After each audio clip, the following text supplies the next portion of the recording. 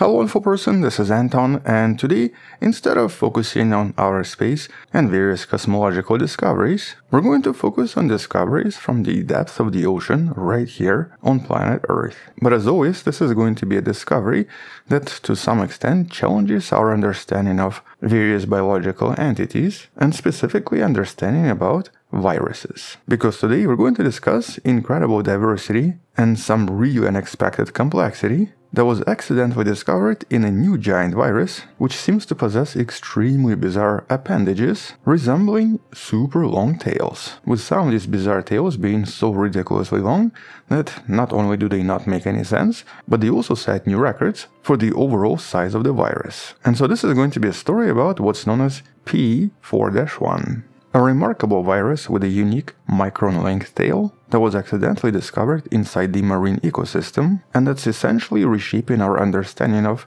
life itself. But before we talk about this discovery, let's actually discuss something else we've discussed in some of the previous videos in the description when it comes to some of the most bizarre discoveries about viruses. And you can find some of these videos in the description. And so for decades, our traditional view of viruses painted them as simple inert particles essentially genetic material encased in a protein shell, whose main purpose was to hijack a cell in order to then use it for its own replication. But then biologists discovered giant viruses, a phylum known as Nucleocytoviricota, which completely upended our understanding of these bizarre organisms. Although I guess we don't even call them organisms because we actually have no idea what they are. And these viruses were extremely complex. Sometimes they were larger than typical bacteria, possessing elaborate structures and vast genomes that very often encoded hundreds if not thousands of genes, including genes used for DNA repair, replication, transcription, and actually quite a lot of other functions. But these capabilities are usually associated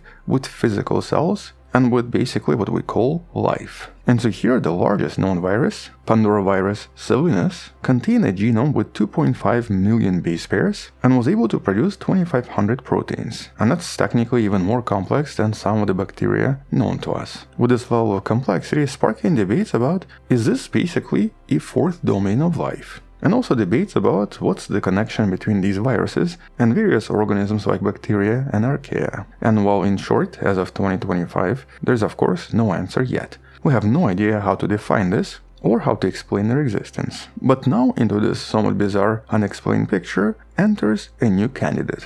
And here this is actually going to be a really long picture because of its long tail. I'm going to refer to this as PAVE 1. Here this was a discovery of PAVE 1 and its host. This is a new giant virus that infects a marine organism known as Pelagodinium, that's a type of a dinoflagellate, or a type of a very common marine organism essentially made out of a single cell that we sometimes classify as plankton. And here both the virus and its host were isolated from the North Pacific Ocean, specifically at a depth of 25 meters, very close to Hawaii. And in general, dinoflagellates themselves are usually incredibly diverse, and of course play a vital role in the marine ecosystem. As plankton, they are the key contributors to the microbial food web, acting both as producers and as grazers. But they also very often form marine symbiosis, or occasionally cause what's known as the algae bloom. And so essentially they play a major role when it comes to the economy and when it comes to public health. But despite their importance, surprisingly, relatively few viruses that infect dinoflagellates have been characterized so far. And so this new virus, PAVE1, essentially provides a crucial window into the marine host-virus interactions. And naturally, as the pictures here show, the most fascinating feature is the tail. Although technically this is not really a tail because we cannot call this life. So this is more of an exceptionally long, thin tail-like structure that seems to extend up to about 2.3 micrometers, even though the actual virus is only 200 nanometers in size which of course makes this the longest appendage for any virus discovered to date. And just to put this into perspective, the previous longest virus, P74-26, had a tail of about 875 nanometers. We've actually talked about this in one of the previous videos in the description, and this was referred to as the, the Rapunzel virus, mostly because of its very bizarre long tail. Then there's what's known as the Tupan virus, with a tail of approximately 1.85 micrometers, but for the most part, pretty much most viruses that contain these tail-like structures usually have them much shorter, with the average being about 135 nanometers. And so here we have something that's 2300 nanometers in size, that dramatically surpasses anything we've known so far. But despite this incredible length, there seems to be this really bizarre ratio between the size of the capsid, or the size of the viral structure, and the length of the tail. If comparing the length of the tail with the capsid diameter, it seems to be about 11 to 12 times larger. And that seems to actually match for a lot of other viruses discovered previously. And right now, biologists are not entirely certain if this is just a coincidence or if there is some kind of an underlying mechanism that seems to form these ratios across various viral taxa. But at the same time, they also discovered that PEV1 virus exhibits several different types of morphology or different shapes with at least five distinct configurations. You can sort of see them right here, but in essence, either a thin and long tail or a shorter tail with variable length or sometimes some kind of a stubby protrusion that's thicker at the base and appears to emerge from the capsid apex opposite the tail's attachment point. Sometimes they have no tail, and sometimes they possess both a long thin tail and a stubby tail, so basically a multi-tail and this considerable variation in tail length potentially reflects different stages of development or maybe different types of damage viruses experience while interacting with their environment. For example, the long thin tail seems to be quite fragile and has only been observed in very fresh, unfiltered, and unconcentrated samples, so it's quite possible that they all contain long tails, but they're just very easy to break. But then we have this obvious question so, what is this for though? What's the actual function and mechanism of this tail? Well, first of all, during the early infection stages, usually 1 to 6 hours following the initial infection, PEV1 uses its short tail for attachment to the host cell surface. But, according to various microscopy studies, there seems to be no evidence that the tail is used for any kind of penetration, and instead, the entry mechanism seems to involve what's known as phagocytosis, or basically the virus seems to get eaten by the cell without realizing that it's eating the virus. And so here the tail is mostly used for the attachment, but not necessarily for anything else. And after 12 hours during the late stage of infection, especially as the cell is about to burst, which is usually what happens when viruses are done with the cell and when they're finished replicating, researchers observed a lot of non-tailed viruses, suggesting that this tail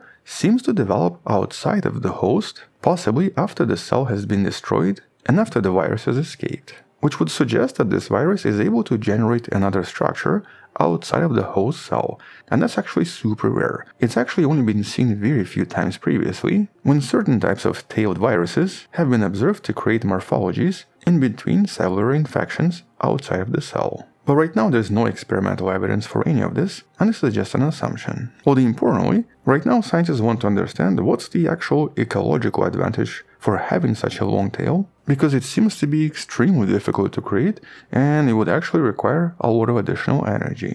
Well, right now the primary hypothesis suggests that this potentially increases the effective diameter of the virus and potentially increases the probability that it's going to find some kind of a host. Or essentially, by having such a long tail, there's a much higher chance the virus is going to bump into something and then attach to it in the process. This could be particularly beneficial in a low biomass system, such as certain parts of the North Pacific Ocean, where dinoflagellates might be distributed with a much lower density. But because of this discovery, we can now also compare this to some of the previously discovered tailed structures, just to see if this is some kind of a universal phenomenon or if this is somehow different. And to start, it's actually important to look at one of the most common viruses out there, bacteriophage, a very well-known bacteria infecting virus where the tiny tail seems to be crucial for host surface recognition and of course for penetration that's then also used for the delivery of genetic material inside the cell. And intriguingly, in one of the recent studies from 2024,